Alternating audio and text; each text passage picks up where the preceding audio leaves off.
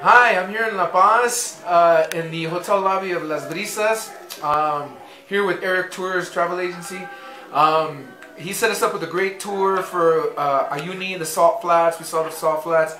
Uh, we had very capable driver take us down the death road with a great guide. We had great food, uh, great accommodations. The service was excellent. Uh, we're getting ready to go to Copacabana and to Cusco, and it was all set up uh, with the wonderful work of Eric here at Eric Tours. And uh, we're looking forward to coming back to Bolivia once again and doing business with Eric.